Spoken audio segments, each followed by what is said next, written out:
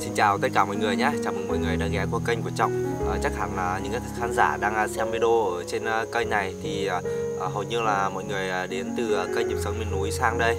À, Và mình cũng rất là cảm ơn mọi người đã ghé qua kênh để ủng hộ mình.